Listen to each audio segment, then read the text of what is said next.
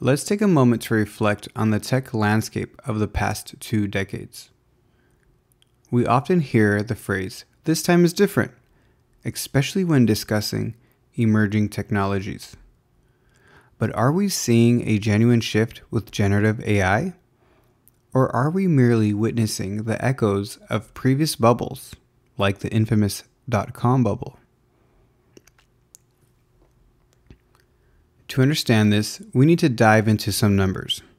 The growth of generative AI users is remarkable, currently outpacing internet user growth in the late 1990s.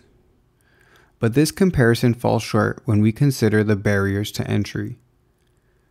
Back then, accessing the internet required substantial investment in both hardware and service subscriptions. A Compaq ProSignia desktop cost around $2,699, which translates to about $5,100 in today's terms. In contrast, today's generative AI tools are often free, requiring little more than an existing internet connection.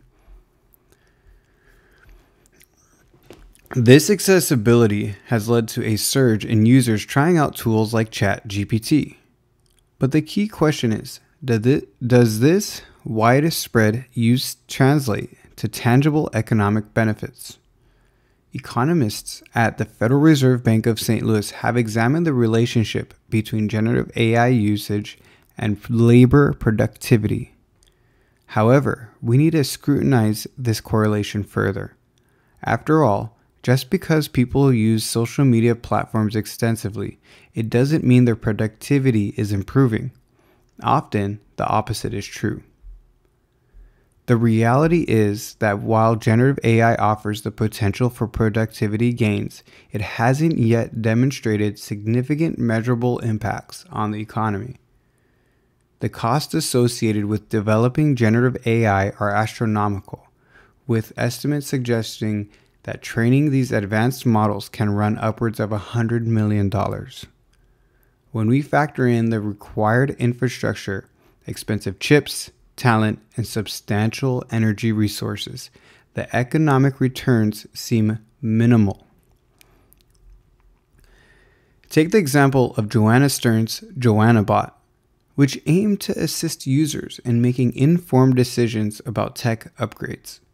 Despite being useful, the project was costly, rivaling the expense of a luxury vacation. This raises an essential question for generative AI to pay off economically, it must generate enough revenue to cover these steep costs.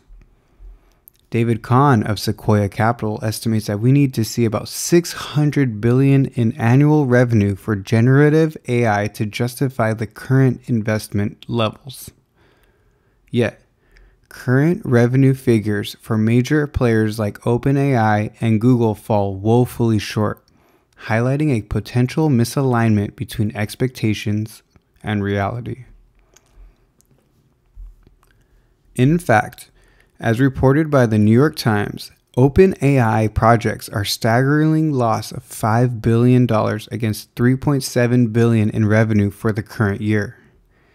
Even with significant investments to keep operations running, we're witnessing a valuation that's reminiscent of the dot com bubble's unsustainable heights. When we draw comparisons between generative AI landscape and the internet boom, the numbers tell a telling story. In 2000, the internet generated over $1.5 trillion in revenue. Adjusting for today's terms, in contrast, generative AI is on track to generate less than $10 billion.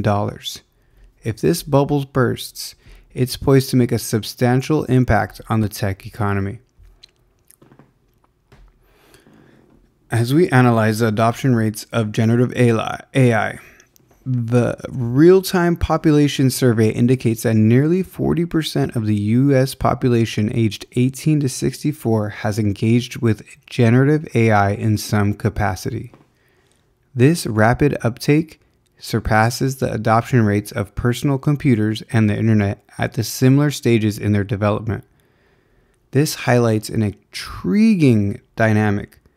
While generative AI is widely adopted, its integration into daily workflows and its effectiveness in improving productivity remains to be fully realized. Users leverage generative AI for a myriad of tasks, from writing communications and searching for information to coding and customer support. This diversity in usage underscores its potential as a general purpose technology.